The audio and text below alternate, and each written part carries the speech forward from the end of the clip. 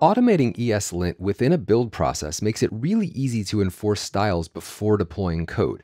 But you can also use ESLint earlier in your development process to flag issues before you even commit them.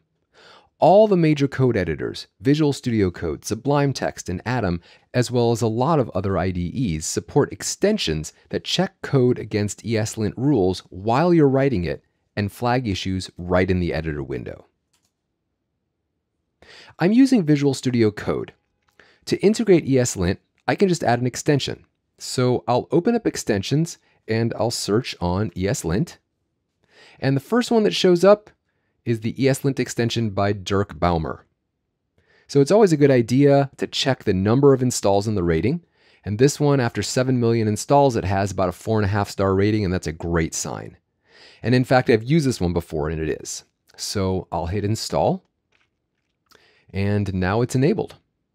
So from now on, whenever I open a JavaScript file that's associated with a .eslintrc file, the ESLint extension will lint the file and flag any issues right in the editor window. So let's test that out. I'm going to go back to the Explorer and I'm going to open up, close that up. I'm going to open up my index.js file. And I can see here that the console.log statement has a yellow wavy line underneath it. And if I hover over that, I see the explanation that my ESLint rules call for eliminating console statements. Now, if you don't see that, the settings for your extension may need a little bit of adjustment. For VS Code in particular, you need to go into the preferences. So I usually open up the control panel and I can do preferences open settings JSON to get to the JSON file. And if you go to the wiki page for this video, there is a Visual Studio Code configuration snippet that you can just add to that JSON configuration. And if that ESLint integration isn't working, then adding this snippet to your JSON config may help. But mine's working okay. I'm not going to add that in. So ESLint can flag a whole wide variety of errors, and being reminded of those as you code can be really helpful. So I'm going to write some bad code just to test things out. And this is another thing I've included in the wiki for this video.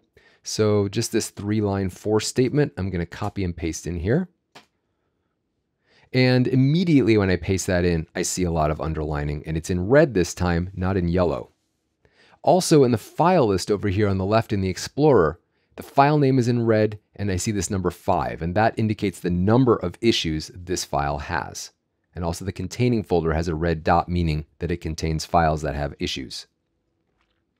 So my for loop starts with a value of 10, and it checks for a value greater than zero, but it's incrementing after every loop. And this is a logic error. It means it's never going to get to zero. It's never going to stop. So I've created an infinite loop here. And that can be tricky to catch if you're just writing code and trying to figure out why your code isn't working. But the configuration I'm using flags this. And so if I hover over it, there's a pretty simple explanation of what's going on here. The for direction is wrong.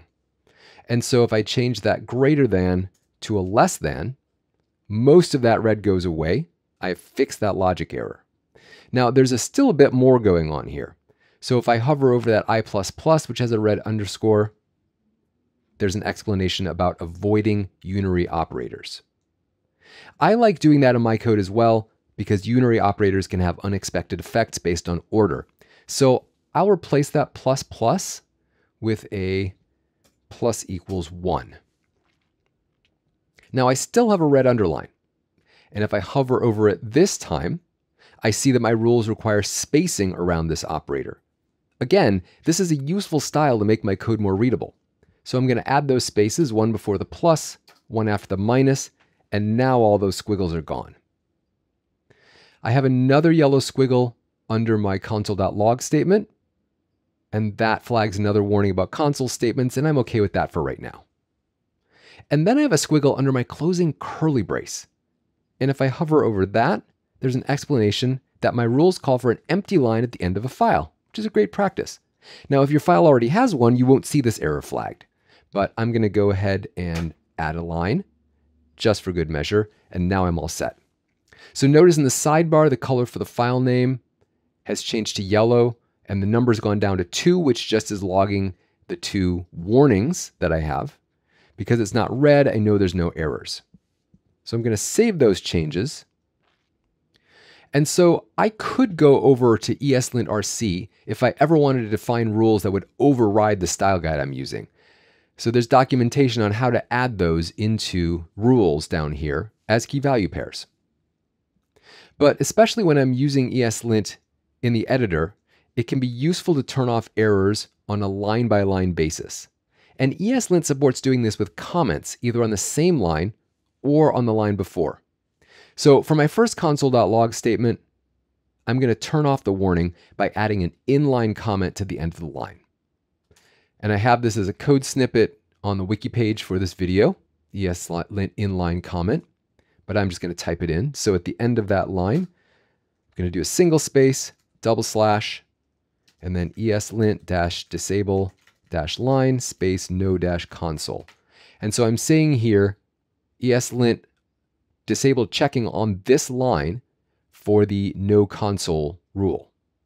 And now that yellow underscore is gone because even though I've violated the rules, I've also included a directive saying, don't bother checking this, don't flag this for me, I'm good.